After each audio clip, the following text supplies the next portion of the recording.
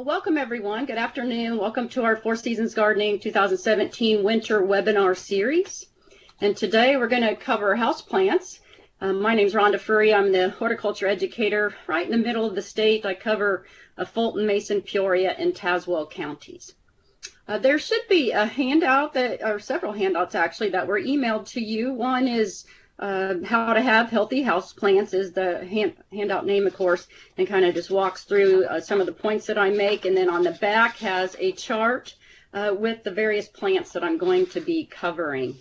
Uh, there also are handouts, of course, with the PowerPoint presentations uh, that you could print out as well.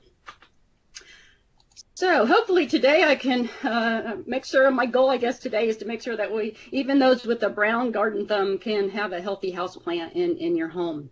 House plants have been uh, shown to make us happier and healthier. Uh, research shows that they fill a psychological need. Uh, they yeah, satisfy our need to care for living things and provide a link to our natural world, even you know when we're indoors. NASA's done a lot of research, as have others, on how houseplants uh, cleanse the indoor air, and that makes them very important. And it also, research has shown that it can increase productivity for employees when plants are around. So the picture you're seeing there is actually my office. I'm sitting at that chair uh, right now, and I have a lot of plants in, in my office, and so hopefully that's helping me to be uh, more productive as well. We also know that houseplants can really enhance our environment, whether it's in our home or if it's in more of a commercial setting. Um, obviously, they're aesthetically pleasing, uh, but they also can be very functional. You can use houseplants to direct traffic. Uh, this uh, picture here is an Indianapolis hotel, and you can see that these plants are set there partly to draw attention to the, the business sign, but also to direct people so they don't uh, run into those poles that are there. Uh, we also, uh, with proper numbers and placement, the house plants can serve as sun, uh, uh, sound barriers or buffers as well. So what I want to do is we're going to go through uh, some selection criteria for uh, choosing the right house plant for your home. There's lots of different factors to consider. We always, of course, whenever we talk about plants, we often say right plant, right place. And that's true indoors as well. So uh, indoors, of course, we have limited light often. So light is a major factor. And and many greenhouses and producers will, will tag their plants with the light requirement on them. And you can see here uh, that this tag example I show you, it shows in the bottom right corner of that picture that it's a medium light type of plant. You could also think about when you're selecting a house plant, uh, the ease of care, how hard it is to take care of. I'm going to show you several examples today, and I'm going to talk about some of the easiest uh, to take care of, the easiest to grow indoors first, and then we'll end up with uh, some of the harder ones at the end of the presentation. Uh, maybe you want uh, flowers or, or foliage or certain colors in, you know, just to uh, help with your design style in your home. So there's lots of different uh, selection criteria. I am going to cover two things today. Of course, I mentioned already that houseplants can help to cleanse the air. Uh, whenever I mention that a, a plant that I'm covering is an air cleaner, you will see that little cloud. And then I also will mention a little bit about the whether or not the house plants are poisonous because we get lots of questions about that. And we want to choose our plants carefully, obviously, if we have children or pets. So I will use this little mushroom icon uh, throughout the presentation uh, when that plant is considered poisonous in some way. And again, some of them are, are more poisonous than others. It, it doesn't mean that you shouldn't use them. It just, you need to be aware of that. So let's look at some of the environmental conditions when or factors to cho uh, when choosing, you know, the plants that you're going to grow indoors. The most limiting factor when growing plants indoors is light. And the two obvious light sources that you're going to use are is the natural light that's coming through the window or some type of supplemental light um, with some, you know, light bulbs and such indoors. Uh, the natural light actually can be uh, reduced uh, even though it's coming through the window. Uh, this is my kitchen window here and outside of it is actually winter but outside of it is a pergola. In the summer there's a tree and, and so the leaves will block some of the sun. Uh, sometimes on cloud, cloudy days it's going to have less light coming in. If my windows are dirty it's going to have less light coming in. And also, we just got new windows, and so the more energy efficient windows, some of those alter the wavelengths that come through that, that glass. So all of those can um, make it even more of a limiting factor indoors uh, for growing plants. The other environmental factor to consider is humidity. Um, and we'll look at that here. Humidity and temperature are the, the next two. Uh, as you know, most houses are really dry. Uh, this is a, a little humidity monitor that I have in my house, and I try to keep it within that desired range. But even that is more for humans than for plant growth. Most of our interiors are less than 20% uh, uh, relative humidity.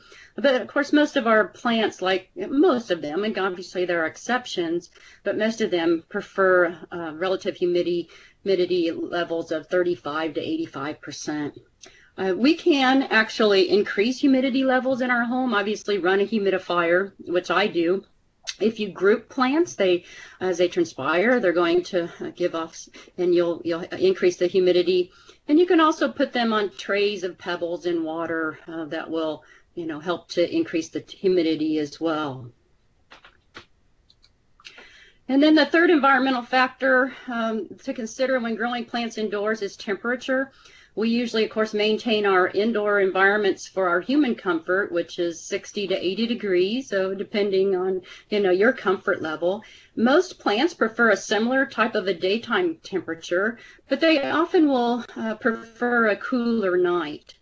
Uh, I've found that temperature is usually not um, a major factor when growing houseplants, uh, unless you know I have that plant where it's going to receive a blast from you know the heater or the air conditioner vent, or maybe if I have it too close to a doorway, especially in the winter where it could get a blast of cold air. So those are just some things to think about when you're considering the temperature uh, for that plant. Again, I mentioned uh, poisonous plants. Uh, there are many, many resources available to find, you know, toxicity information about house plants, both for humans and for pets.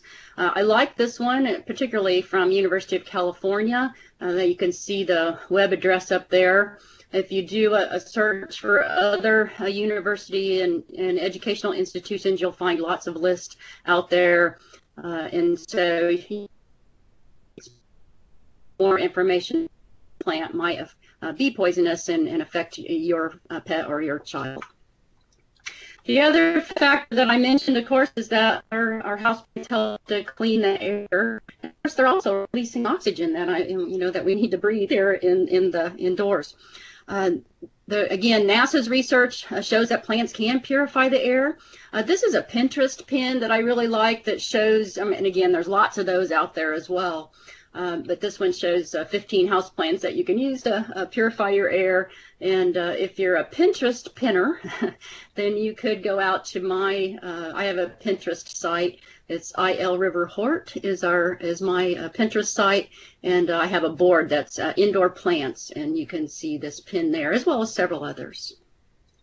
So let's start with some easy houseplants. So I'm going to look at five, just five examples of houseplants that are really easy to grow. Um, most of these plants require really low light, again, because light is the most limiting factor indoors. And they also uh, require other, you know, really little care. Uh, and most of them also can withstand irregular watering, which is, is the main way that people kill plants indoors is mainly uh, by improper watering. So let's look at these five examples. The first one that I, I'm going to cover is the mother-in-law's tongue, and or also called the snake plant, and I really do think this is the easiest house plant to grow. Uh, you'll notice each of my uh, slides are going to be set up the same for covering these plants. So it'll have the common name at the top and then the scientific name, a picture, and then a little more information on the right there about that plant. And again, it will have that cloud icon if it's an air cleaner. It's been proven to be an air cleaner. And then I'll have the, uh, the mushroom there if it's a, shown to be a poisonous plant in some way. So this plant actually comes in both solid green and variegated leaves. This one that you're seeing is mine. I've had since I was a little girl, actually. Um, and it's a variegated one that I really like. I take it outside in the summer sometimes and, and it will bloom, which you're seeing here. Usually, usually doesn't bloom indoors uh, or look our light levels are a little too low for that typically.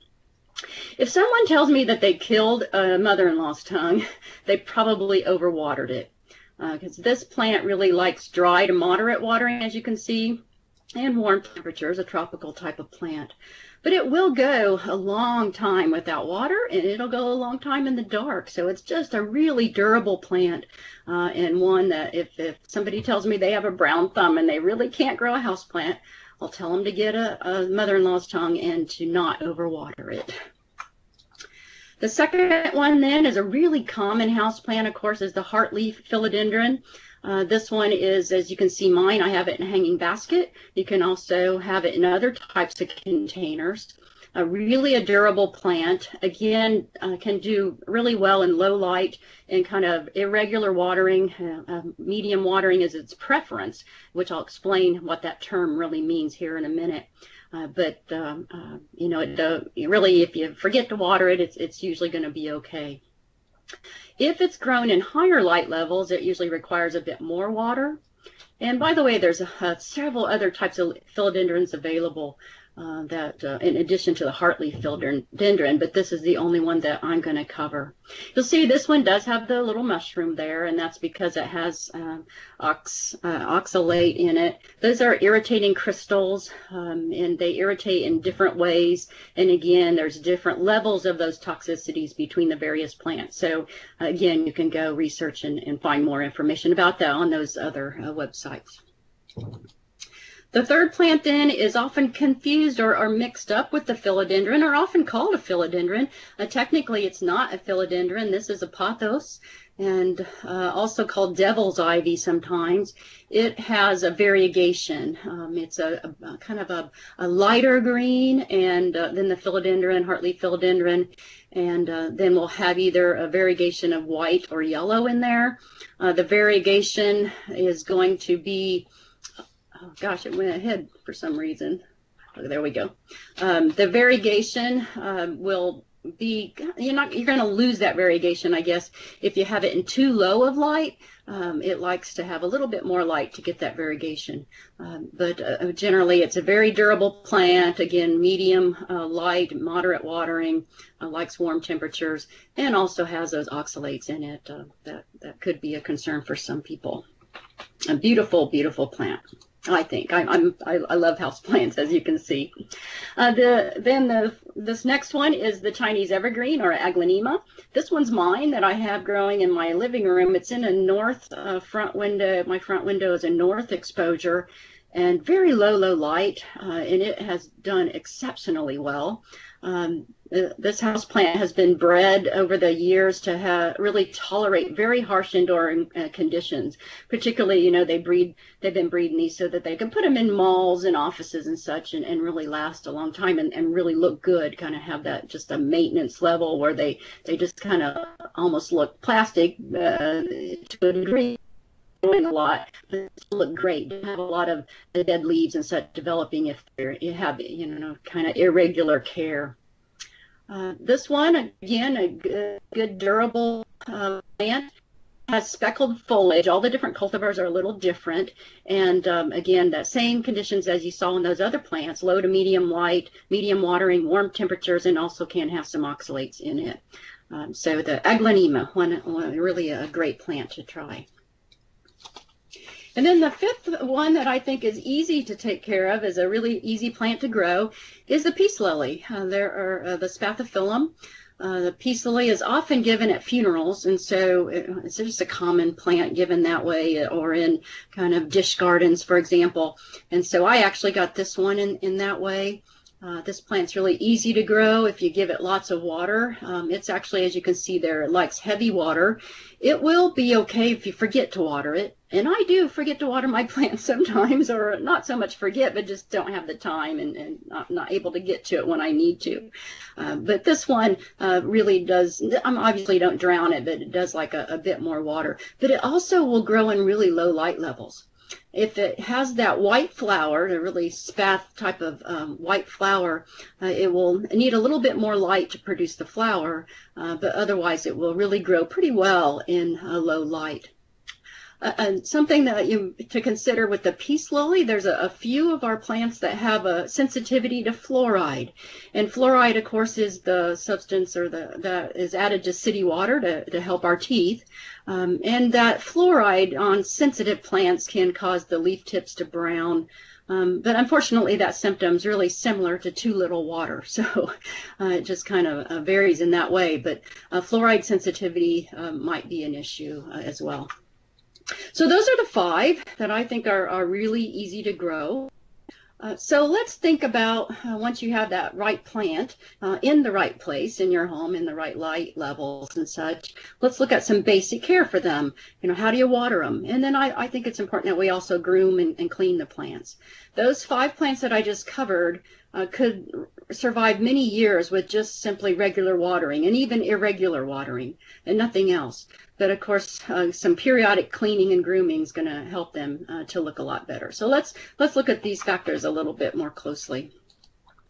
The first is water, of course, and water is the uh, uh, way that most people kill plants indoors or have problems with plants indoors. And again, it, generally it's because they water too much. And um, I, I, have been developing some YouTube videos, and uh, they're out on my YouTube channel. I'll show you the link to that at the end of the presentation. But I have one on I just pr produced just a month or so ago on watering houseplants. So if you uh, want to actually see a video on that, please go do it. Um, I wanted to show the video here, but uh, Skype for Business is, um, wasn't really being cooperative on that. So that's fine. I'll just maybe if you want to see it, you can go uh, look later. In general, the way uh, we think about watering is, uh, again, typically, not all plants are the same, but typically, um, depending on the plant type and its growing conditions, uh, we want to water thoroughly and less often. Uh, typically, we would say to water the entire soil profile, and so that the roots are really going to grow in that whole container. Uh, you've probably, um, you know, knocked a plant out of its container, a, plant, a house plant in, that's grown in the house, or even a container outdoors. And if you just water it a little bit on the top inch or so of soil, that's really where the roots will grow. And they don't tend to want to grow in that whole container. So uh, we want to make sure that we uh, water that entire, entire soil profile, unless it's a plant that um, has a different type of watering requirement, of course. These are common terms that you find on plant labels. Uh, it'll say heavy water, medium, moderate, or light. And so you can see the differences here. Heavy is like that spathiphyllum that I just showed you, the peace lily, is a heavy water lover. So we want to keep the soil, I would say kind of consistently moist, but not soggy. You don't want to drown it. You want to make sure those roots still get some oxygen. A medium watering plant would be that we water it thoroughly and then we're going to just allow the, the surface to dry a bit and, and uh, you know, touch that surface with our fingers and really uh, see if it's drying out, and then we would water again. Moderate would be we water thoroughly, again, through that whole container, and then allow the entire soil area to dry out before we water it again. And then light watering, of course, there are um, some plants that require that. Um, and so you can you see that you would just lightly moisten the soil around roots and, and then allow that soil to completely dry out uh, before you uh, do that again. And so uh, plants like cacti and, and, orchids might be ones that uh, you would have light watering um, recommendations for those. So those are the, the way those terms work when you look on the label. So when should we water? Um, when is that really happening? Uh, we really need to check that soil by using our finger. Our finger, I really think, is our best tool to determine if that plant needs water. I can also tell, you know, sometimes if I get used to the way I have my different plants uh, by the feel of the container, by the look of the soil, but sometimes it can be a bit deceiving. So again, uh, oftentimes I, I will actually put my finger down in that soil about an inch or so and just see if that soil has dried out enough that I need to water it based on that plant's uh, uh, watering requirements. Uh, the plant, uh, the container that you're seeing here is actually one that has a water indicator. Uh, it has a reservoir in the bottom and uh, I fill it with water and then it has a little gauge that tells me when it needs watered again. And so uh, it keeps the water, the, the soil kind of um, moist actually. And so I would recommend an anthurium like you're seeing here or a spathiphyllum in, in that particular type of a container. Typically don't recommend moisture um, meters. They're not real reliable. They're, they're measuring salt levels and other things in the, in the soil, and so it might be other factors that uh, affect it. And we usually would say to avoid calendar watering. So if you just simply water every Sunday, regardless um, whether it needs it or not, that you know obviously we want to water the plants when they need it. Uh, but but I also tell people that calendar watering is a good reminder that you know you just think Sunday I okay I better go water that plant if if you forget because like uh, sometimes people do, especially if they don't have very many. So let's look at this little chart uh, table, and you can see that some of the injury symptoms on a plant are the same, whether we overwater or we underwater. And so wilting is that first one, for example. Notice that wilting is a symptom of both. So it's not a good indicator that a plant needs water. I, I have people tell me, well, the plant's wilting, so I just give it some more water. And um, maybe uh, they are overwatering it uh, too much, and and uh, and that's the problem. You'll also see that over and underwatering will yellow new leaves. Underwatering actually yellows the old leaves. If, if you have a philodendron or a pothos and you notice that, uh, you know, a really long vine on it, uh, maybe that the um, uh, leaves are, you know, fall, yellowing and falling off, the oldest ones that are closest to the container, and then it's putting on new growth at the end. And so that's sometimes a, a symptom of underwatering.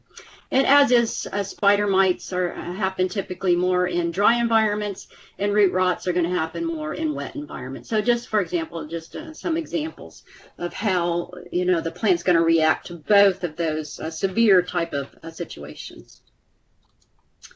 And then I mentioned that I think it's important that we groom and clean our plants, that we keep them healthy, clean, and, and really looking good. And so I, I really start by, of course, removing any dead leaves and flowers uh, cobwebs sometimes that will build up in there and maybe other mat material that might have accumulated uh, with time, you know, and, and then I'm going to clean the leaves. And again, it's going to depend on, on the plant, on, on how I'm going to clean the leaves. Uh, most of our smooth uh, leaved types of plants, I, I will use a, a soft cloth and, and water and a little bit of dish soap.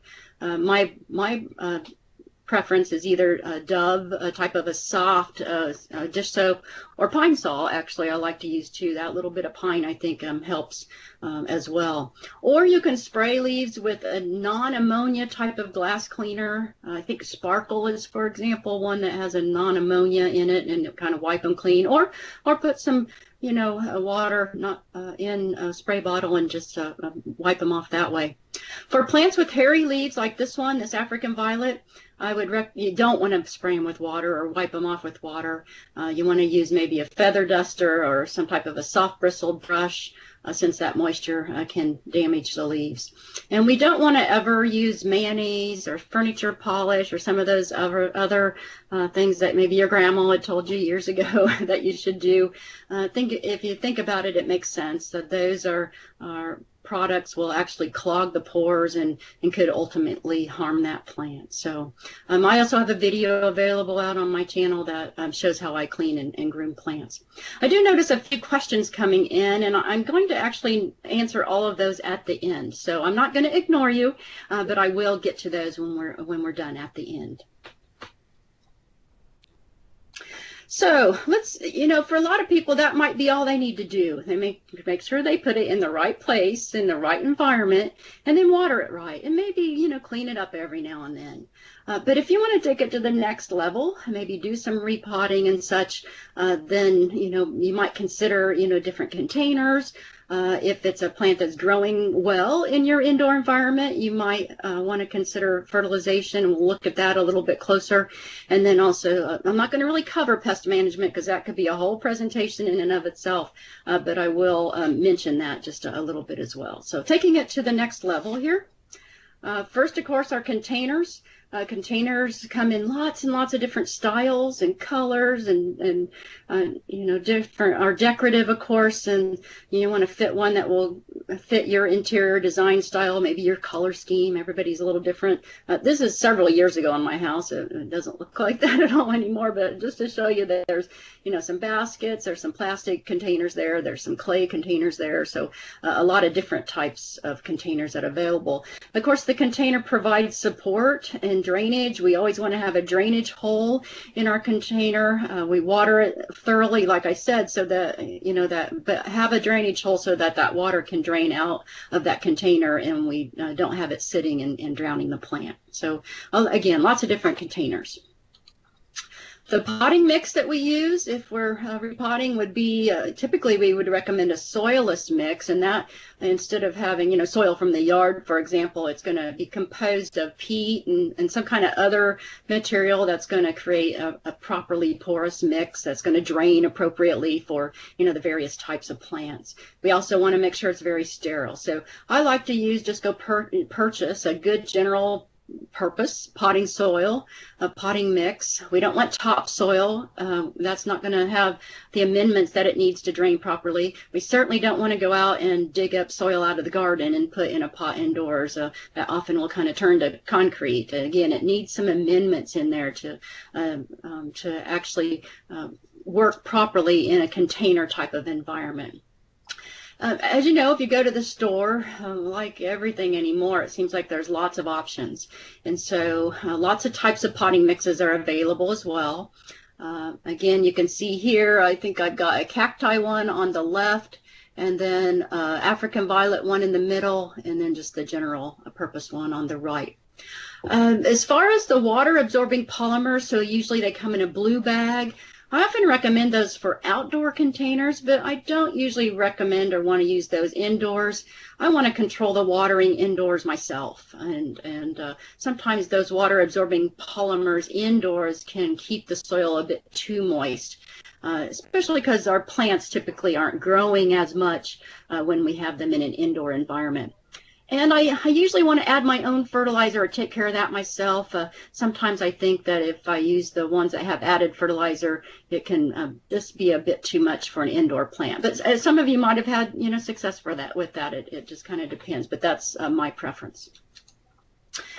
And then fertilizer, uh, if you have a plant for a really long time, if it's a blooming plant, if it's a plant that um, has been in the same container for maybe you know years and years and years. A, a good example would be a hundred year old heirloom Christmas cactus, for example, that's never been in a different container.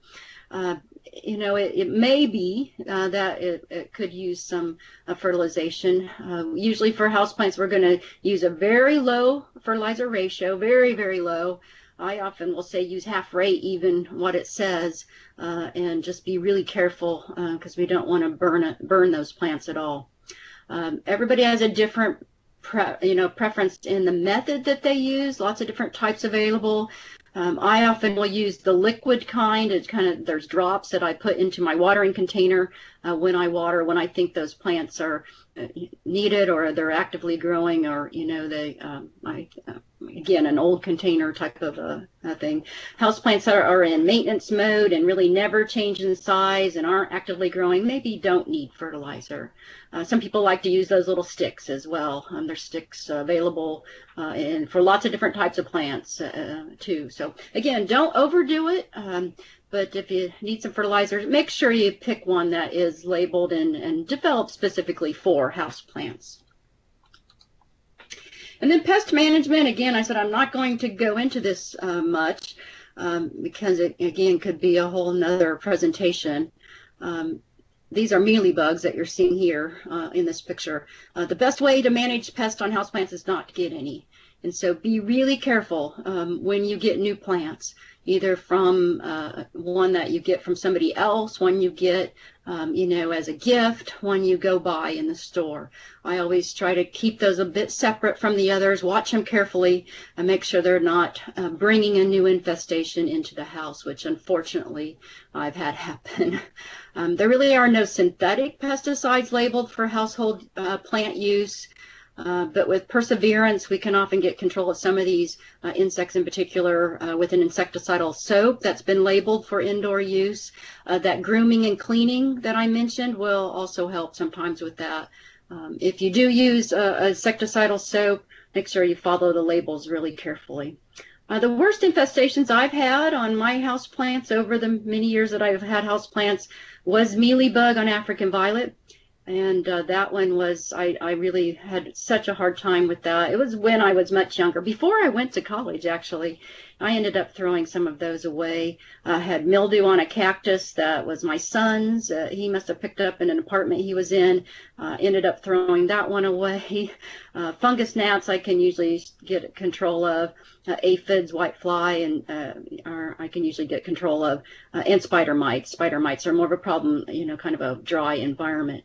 Uh, but scale can be a difficult thing to control as well. So uh, again, uh, sometimes I've just started over. Sometimes I've tried to get control of those. Uh, but again, I think the best thing is to really keep those plants healthy so they can fight off pest problems, keep them in the right environment uh, so that uh, they will be nice and strong and can fight that off. and then again, when you bring new plants in, be careful with that. Okay, I'm going to go through several different diff examples of plants again that we might consider in a house um, for house plants, uh, and uh, we'll we'll look at these. So these are, I'm going to call them medium difficulty types of house plants. Uh, the first one, uh, well, usually when I think of palm, I think that palms are very, very high light, and uh, most palms do require extremely high light levels and uh, are hard to grow indoors um, often I'll, I, I will grow some of those big, large palms, but um, but they're kind of a temporary plant. They don't last more than, for me anyway, a couple of years. But the parlor palm is one that can grow in low to medium light, as you can see here. It's often, you'll find it in dish gardens uh, when you get those, um, you know, somebody gives you a, a, gift for Valentine's Day, maybe, which is today, of course, um, or you may, you know, at other uh, um, types of things where you would get a dish garden. Um, it likes it kind of moist to partly dry. I have one actually in my office here. It's in the window. It gets I uh, it dries out really quickly, which part of that for me is the container I have it in. It needs a, a little bit bigger soil uh, um, container. Uh, the parlor palm does like warm temperatures, and you can see that it also is an air cleaning uh, type of plant. The Boston fern is one that I, I really like. I often grow it outdoors. Uh, but the Boston fern, and there are some uh, several different types of the Boston fern. This is the the basic uh, uh Boston fern that you can see here. Uh, I would say fair durability because if you have irregular watering, you're going to have some leaves drop uh, brown and, and dry and, and drop off. If you bring a Boston fern in from outdoors in a nice outdoor growing environment and then bring it indoors, it is one of those plants that will need to acclimate to that new light level and maybe watering and uh, will drop a lot of leaves. And so uh, that can be a problem or it can be frustrating for, you know, some people. Often I just start over on my outdoor um, uh, Boston ferns. Indoor uh, our Boston ferns, um, really try to keep them in that same uh, lighting condition if I can. Uh, so they can handle pretty low light as long as those leaves have developed in that low light. Um, again, it, it depending on the light levels, they could be kind of a heavy watering plant um, and uh, do like a somewhat warm temperature. An air cleaning plant as well, the Boston fern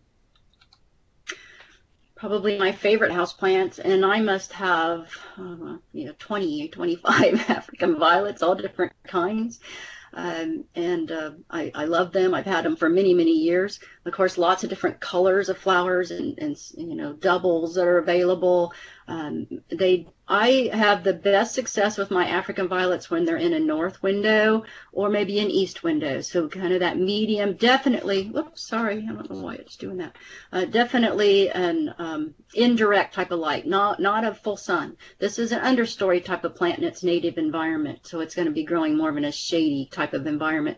But they do like to be kept really evenly moist. And so the best way to grow African violets is to water them from the bottom, uh, from a saucer or a special African violet pot, and let that plant take up the moisture that it needs. Uh, the other reason why I like to do that is because we want to avoid getting water on the foliage, because uh, if you get even a little drop on those uh, little hairy leaves, uh, it will cause a spot on the leaves, and so you don't want that. You want to have uh, leaves all the way through.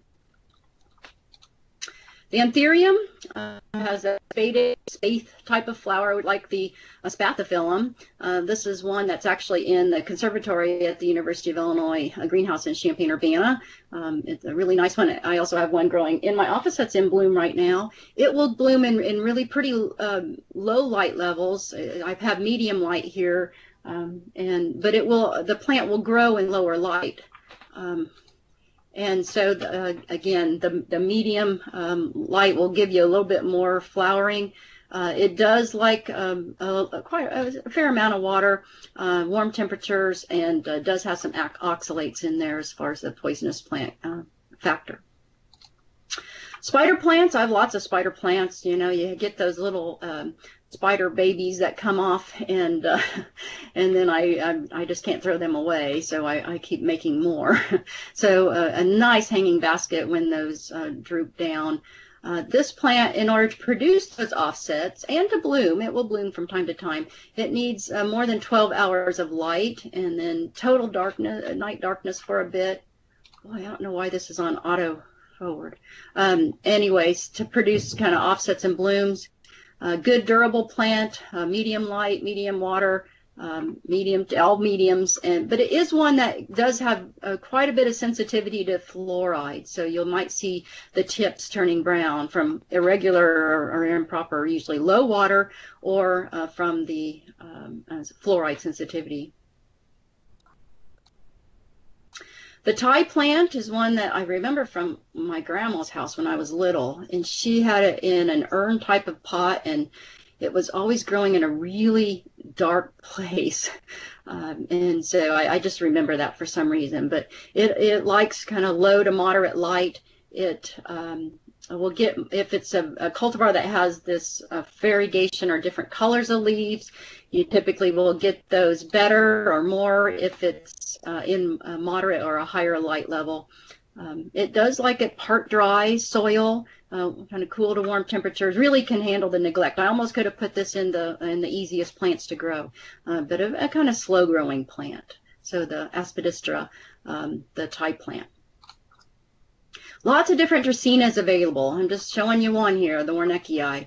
Uh, this one has a green leaf with a, a variegated leaf margin. The uh, outer edge has a, a, kind of a creamy color on it. A good durability, again, um, kind of medium light and watering and, and, temperatures. But again, lots of different Dracaenas available. Again, uh, many of those have been developed. The specific cultivars to grow in our extreme uh, kind of situations that we have in an indoor environment. The rubber plant then is the next one, and I have a, this is my rubber plant. It has um, uh, the green leaves on it, um, and you can see that it is a, a I, I find that it's an easy plant for me to grow.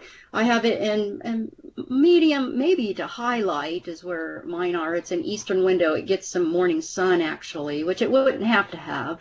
Um, I try to keep it uh, uh watered um, again, the, the soil watered well and then let it dry out in between waterings. Um, and uh, uh, again, the best way to know that is to use your finger and stick down in the soil and see if uh, that soil is drying out or not um, uh, warm temperatures. And then the, the poisonous factor on this one is it has a latex sap, a kind of a milky sap. And so some people are sensitive to that as far as a, a dermal sensitivity. They might uh, get a rash uh, if they have a sensitivity to latex. So that's the reason why that mushroom is on this particular plant. The prayer plant uh, is one that's going to need a little bit more light. Um, although, uh, again, often to get those distinctive veins on the on those leaves, there are different cultivars, different types, different species available uh, that have different types of uh, variegation. Um, and uh, likes a, a, warm environment. Is an air cleaner as well. Uh, it's called the prayer plant, of course, because at night it will fold its leaves up uh, like it's praying. The peperomia Peperomia is one that has really thick leaves. Again, there are different ones available. I'm just showing you this uh, obtusifolia one. Uh, thick leaves, and this one, of course, is a variegated with a creamy on the outer uh, edge.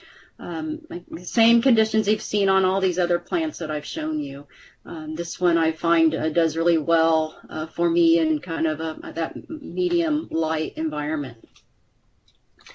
The umbrella palm is a uh, umbrella plant, sorry, umbrella plant. There's a couple of different types of scheffleras, uh, so I'm just showing you one here.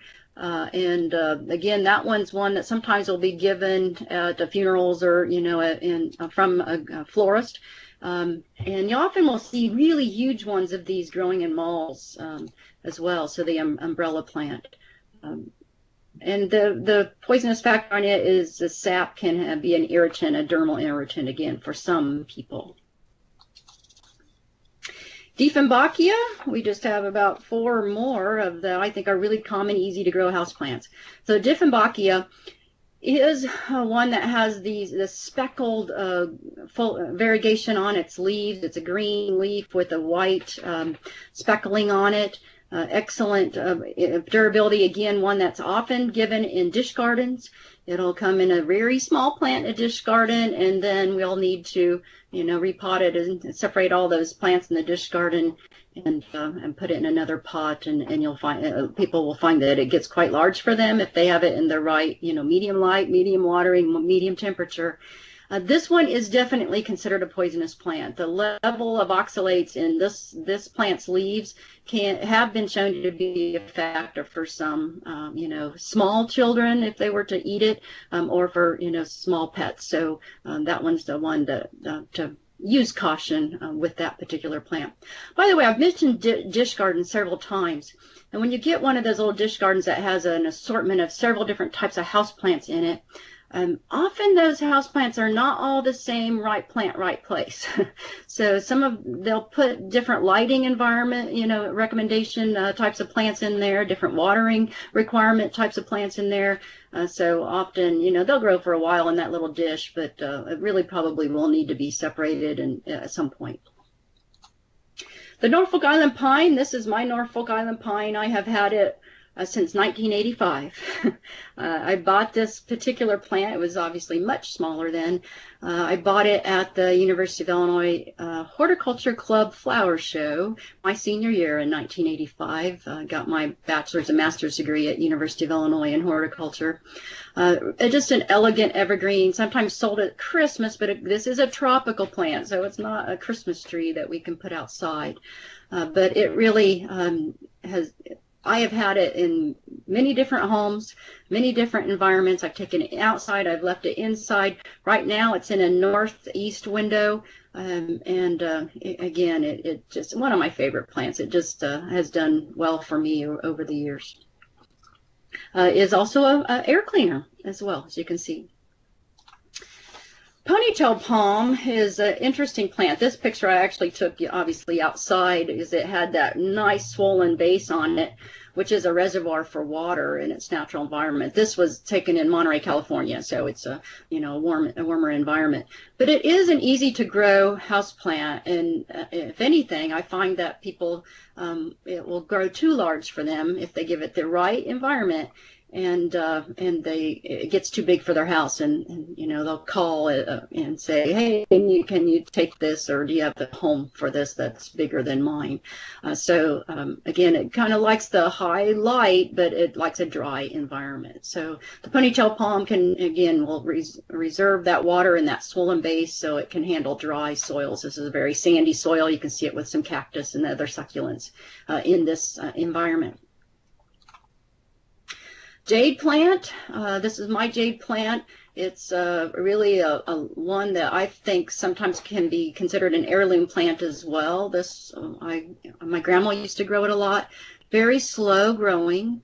Um, and uh, again, very durable, can handle uh, various lighting and watering and, and, temperature, but it likes to do those gradually. So if you do it too much uh, right away, take it from, you know, really high light to low light or, or whatever, um, then it, it, may drop leaves and, and, you'll have trouble. But overall, it uh, is uh, just a very dependable plant. Again, it, this is one that has some of those oxalates in it. Not a high level, but uh, they are present. And then the last plant that I'm covering in this section is the weeping fig, uh, the Ficus benjamina, and there are other figs that are available. Um, uh, fiddle fig, for example. These are the big trees, or they can be a big tree, uh, 6 to 18 feet tall in the right environment. You can see this one's actually the one that has a braided, um, several trees together with a braided um, trunk. Um, again, all those same conditions we've just talked about. This is one that definitely will drop leaves and acclimate to its new environment. And actually what it does is it, it has sun leaves and it has shade leaves. This plant actually creates the type of leaf that it needs for the environment it's growing in. So when you move it from outdoors, for example, indoors, it needs to change its leaves to that uh, lower light level. And so you will often see it maybe completely defoliate and then uh, put out all new leaves. And so uh, uh again, you'll, you'll have experience of that and we get questions, of course, about that because uh, it's a concern uh, if you don't know what's going to happen happen. But it will usually come back. So then uh, just finishing up here at the end with some challenging house plants, and those would be uh, more, you know, ones that are uh, maybe a, a, flowering plant, an edible plant, or maybe a very, very large plant if you have space for that. So flowering plants, I'm not going to go into a lot of detail on these, but the holiday cactus, lots of different types of holiday cactus are available. The most common one sold in the store is the Thanksgiving cactus. It's on the left there. It has kind of points on the on the leaves, um, but uh, it's often sold as Christmas cactus, but it, that's not right. If it has the um, uh, the points on the leaves, and it's really a Thanksgiving cactus, and it blooms more around Thanksgiving time. The one on the right is a Christmas or an Easter cactus. I, I have two, and I can't remember which one I have in here. Um, but they're a little bit more difficult to uh, force into bloom. Uh, the holiday cactus need a, a, long night, but the real important factor is it needs a cool night. So less than 60 degrees consistently for several days or maybe a, a couple weeks for it to develop its buds. And then you move it more into the light and let those buds develop. And uh, uh, sometimes if you get it then too warm, it'll drop those buds. So it can be a, a little bit finicky. Orchids are the other flowering one that I um, will mention, and and really, um, I guess I'll do a little advertisement for our next Four Seasons program. Uh, Sandy Mason will be talking about orchids on March 7th and 9th. So if you haven't signed up for that and you're interested in learning more about orchids, uh, sign up for our next Four Seasons uh, program. And then we do have some edibles. I'm, I'm just kind of glancing over at these chats that keep going, uh, questions that are going on in the chat window. And one is about herbs. And uh, yeah, definitely. I grow lots of herbs indoors. I've been, the ones on the right here, I've been growing all winter. Uh, I, I use them almost, you know, every other day or so. I have basil and dill and cilantro and parsley and mint growing in that particular. This is an AeroGarden that I have that has a self-contained hydro, hydroponic system that has lights in it. Uh, the one on the uh, left is a dwarf orange that was actually in an office building that I was in, and I oh wow, that look at that plant. It's it's uh, uh doing really well. It needs really ample light, um, and some of these types of edible plants need to be hand pollinated. Uh, so last year I actually grew uh, salad tomatoes indoors all winter in this system that you're seeing where the herbs are. And I had to pretend I was a bee, which was kind of fun. You know, go when it was blooming, go and, and kind of tap the flowers and pollinate them so that it would develop uh, tomatoes. So yeah, uh, that I've done a whole other program on growing edibles indoors. It's up there on the Four Seasons uh, webinar series YouTube channel, and you can go back and watch that if you're interested. Just ending up here with a few other things to think about when growing houseplants. One would be vacation care. You know, we have this beautiful plant and then we go on vacation and it just, uh, you know, doesn't do well when we get back. So just like you find care for your dog or cat when you're away, if you're not taking it with you, then you need to find uh, figure out a way to, for your houseplant to be cared for while you're on vacation. For short trips, you could use a cover uh, cover it with a clear plastic bag to create kind of a closed terrarium environment that's going to remain humid, uh, obviously assuming it, it will fit and uh, it's a plant that will fit in that environment. Uh, we can group them, as I mentioned with humidity earlier, set on trays of, of water with pebbles. Now the pebbles are going to keep it from being set, you know, that soil being right down in the water. It's going to set it up a bit, uh, but then as that water evaporates, the, the plant uh, will get that humidity. Grouping the plants together will help, or of course the best solution is to find someone to plant sit for you.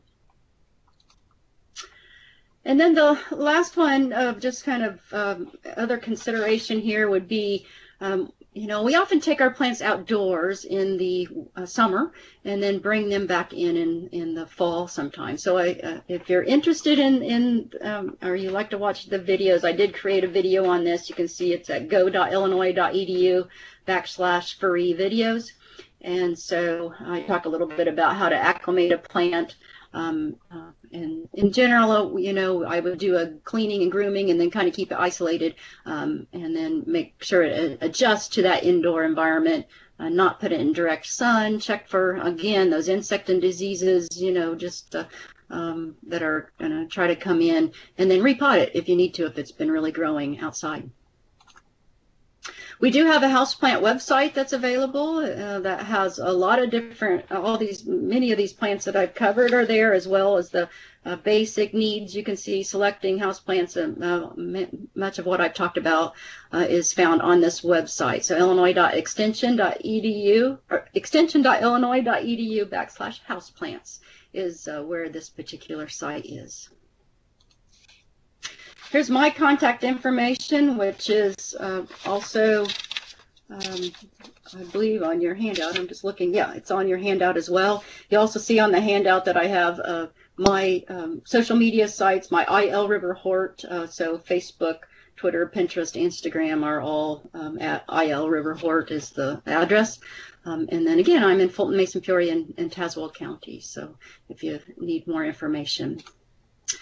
Uh, if you want to watch this again, or certainly if you want to watch any of our Four Seasons Gardening series for the last few years, and then our future ones, if you're not able to do the live session uh, or you want to share it with somebody else, you can go get these on YouTube at go.illinois.edu backslash Four Seasons Recordings. And they will be up after our Thursday evening uh, session is done. So give us about a week or so to get those up there. Okay, any questions? We're going to uh, go to the questions then in the uh, chat window. So I'll try to go back and, and catch up. And I don't know, uh, Kari and Candace and Martha, they might help me with some of these. I'm going to back up here. Uh, question, uh, the first one was on sequoia, and I, I, I really don't have any uh, information on sequoia. That's a plant I'm not familiar with at all. So I, I, I, don't know. You might want to look at California extension uh, in that particular county where the giant sequoias grow. Uh, do we ever need to repot or stray with uh, nutrient mixes? Um, not sure exactly what you mean there. Um, it may, oh, do we ever need to repot or stray with nutrient mixes? I'm, I'm assuming you were asking about um, a potting mix that have fertilizer in it already. Um, and again, um, that's not usually, I don't usually recommend that, but, uh, um, you know, you can start to see if, if the, especially if a plant's, if you're watering it right, it's in the right light, and it seems like the older leaves are really uh, starting to yellow, um, that might be a sign that it's root bound and, and needs repotted. Um, it might be that it dries out more often uh, is, than it should. That might be a factor that it needs repotted. So those are all uh, might be reasons. Um, a comment here, I think, uh, been treating mealybugs with insecticidal soap that I bought for $8 a bottle. Do you have a recipe for making your own? I, I don't have a, a, recipe per se, but that method that I mentioned of, of cleaning where I use water, um, you know, maybe uh, I'm trying to think here, maybe a, a quart or so of water and a um, half a teaspoon or so of, of ivory soap or um, Pine-Sol. The pine, the pine in the Pine-Sol, I also think has a little bit of insecticidal action, and so um, I will use that. And uh, um, again, I can uh, as a, a, cleaning, but it might also help uh, with getting off some of those insects. But again, it depends on the insect and the life cycle and when it's, you know, if there's eggs there and there's just a lot of factors. So it, as you know, can be quite uh, frustrating and challenging. How do we discover if the roots are moist? And I, I did notice, Steve, that you, you, put that up when I was on African violets, I think. And so um, if that's the case, uh, the African violet really, the roots can stay moist. And so uh, mine actually stay pretty moist all, all, the time. It's that heavy uh, watering type of plant. Otherwise, uh, for other plants, again, I, I, stick my finger in the soil and, and see if it is uh, dry down, you know, to an inch or so, and and uh, and then uh, and again, I, sometimes I can pick up the container and, and tell from the weight of it as well. Uh, let's see, I think the insecticidal soap one I already did. A good place to buy indoor plants. Uh, lots of places to buy indoor plants. Of course, at the discount stores, at the box stores, you can get them a nice variety of plants. A grocery store, you can get plants. Again, any place, I don't care where it's at. If you buy a plant any place, you're going to need to watch it and make sure that it is not going to um, get any hitchhikers coming into your house, uh, insects or, or diseases. Uh, but there are just lots of, a good place. You know, florists, of course, have indoor plants, uh, house plants available. Uh, some of our farmers markets sometimes have house plants available, or maybe you could do um, a house plant propagation party with your friends and family and share house plants between each other. Uh, that might be a fun event as well. Uh, growing herbs indoor, definitely, uh, definitely. I, I would, I always have herbs growing indoors, um, especially cilantro. I use a lot of cilantro and a lot of basil. Um, I have hot tea almost every day, several times a day, and I will, you know, throw basil leaves in there, um, cilantro, and you know, lots of things. So yeah, definitely, the herbs will grow pretty easily on a windowsill if you have a bright windowsill, um, or uh, if you have some supplemental light, uh, that might help as well. Let's see, good place to buy. Does an aloe plant in the bedroom help a person sleep? I never heard that, Deborah. Um, so I have, I don't know. I, I couldn't answer that. I didn't cover aloe. I have a couple. Um, and of course they, um, you know, do have that sap that has some other um, um, purposes, um, but I've not heard that. So I'll have to research that a little bit. Uh, best for sound buffering, and I don't know that it's a particular type of plant more than the way that they're arranged and the size of them.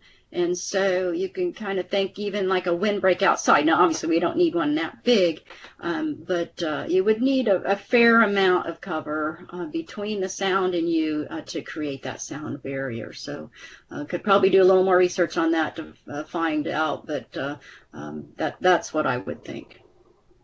Dealing with the fluoride, yeah, the fluoride uh, issue. Um, one would be to not use the city water that's fluorinated, to uh, use water out of your dehumidifier, uh, which is uh, kind of distilled almost. Uh, use distilled water. Uh, use water from, you know, somebody who doesn't have city water, like like me. I have well water, um, really good well water actually. Um, and so that would be one option. Um, just letting it sit will not let make it go away uh, obviously you're, you're still, it's still going to be there. Um, you can sometimes, if the fluorides are, are building up, uh, you can um, kind of leach them out of the soil uh, for some substances, but in general, I would say uh, to use a different water source. Uh, bird of paradise. I have a beautiful bird of paradise in my house. I was looking at it at lunch, and um, the bird of paradise is quite easy to grow. I, I, take it outside in the summer. That's where it started, was outside in the summer in the absolute full sun. You give it lots of water. Uh, mine's never bloomed, but I'm still I'm hopeful. Um, but it is uh, seven foot tall, and it's a very large plant. I bring it in in the winter, and it's in a southeast window. Um, it does get a good amount of morning sun. Um, and it will stay pretty much, it's got new leaves on it right now. I, t- I cut a brown leaf off on Sunday, um, but overall it doesn't change a lot when I move it indoors. So it really has done well for me. So yeah, bird of, bird of paradise would uh, be a good plant. A couple more questions here to uh, end up here today.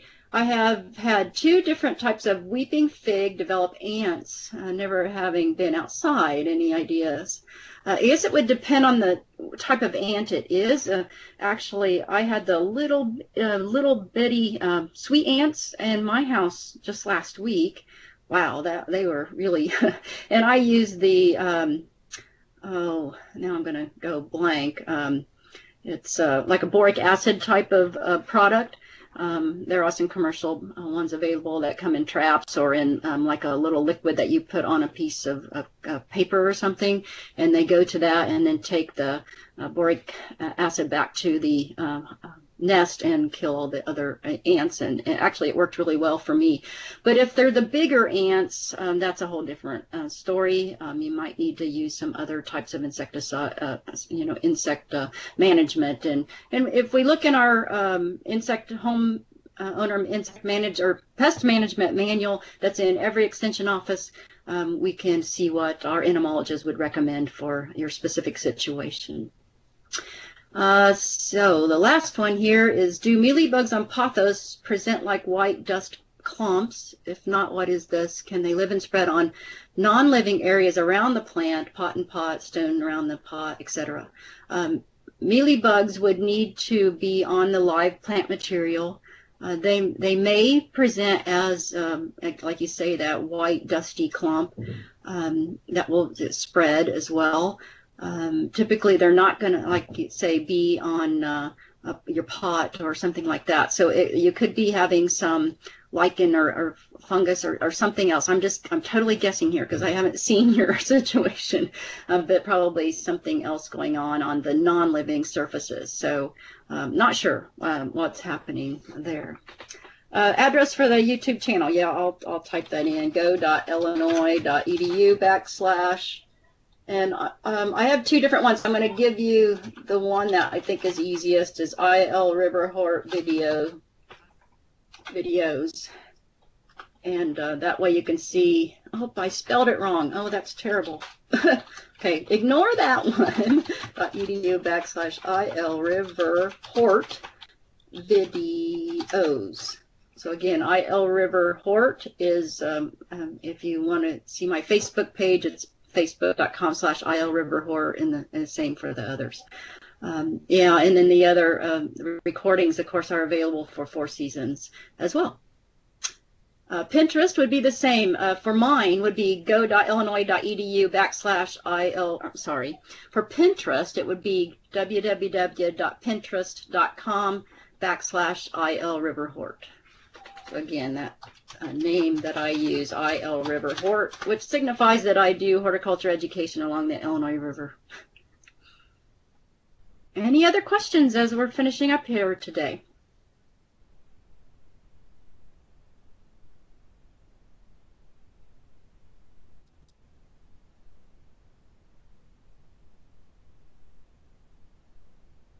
If not, I will stick around for a few minutes here, and if you think of one as you're um, preparing to exit our program. Uh, remember to look for our future programs and to share our YouTube uh, channel with your friends and family to watch so they can watch it as well. Thank you so much.